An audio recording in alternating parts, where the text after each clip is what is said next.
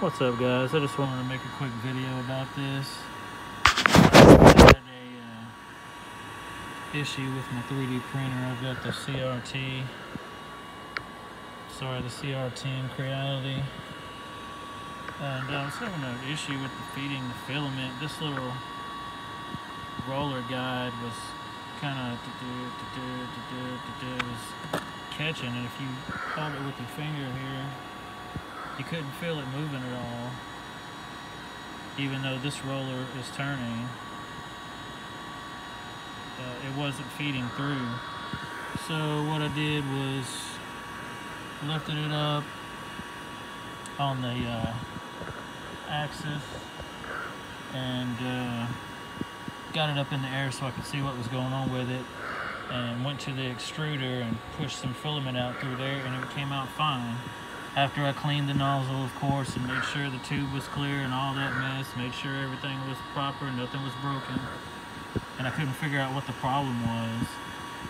It was printing like total crap, like it wasn't coming out of there properly. So it was acting like it, the nozzle was clogged, but the nozzle was not clogged. The issue was leveling the bed. For some reason, it was way too tight. And uh, it's been a little while since I've used the printer but uh, back uh, last year during Christmas time, I did Christmas ornaments and stuff like that, and it printed fine, no problem. But it's, it's on my table, my work table here, shop table, so I've gotten into the habit of putting things on top of it because it's kind of on the table, using it as a table, and I think that may be the issue.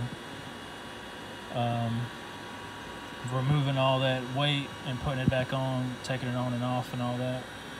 I don't know if that had anything to do with it honestly or not, but it's printing fine now.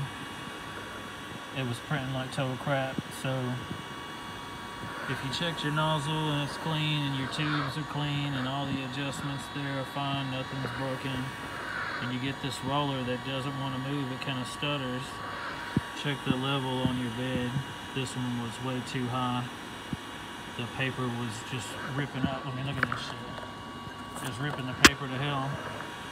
But I finally got it to where it was uh, pulling through there fine. So it seems like it's printing fine now. Thanks for watching. Subscribe, like it if this video helped you. See you.